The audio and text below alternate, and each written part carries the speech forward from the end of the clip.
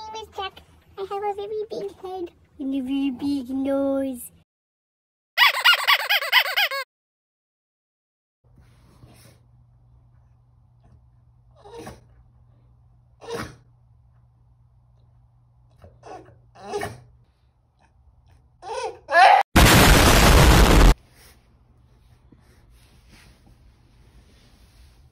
Oh, no!